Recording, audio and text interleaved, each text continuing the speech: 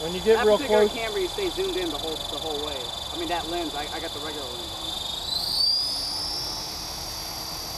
it'll do the autofocus, right? No matter what I do here. Uh, yeah, that's good. This is a different helicopter than the last one, so I gotta make sure it's all trimmed.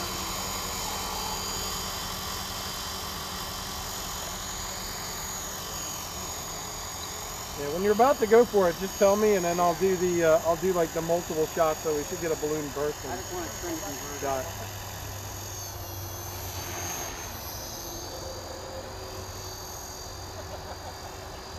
Okay, I'm gonna get down like this.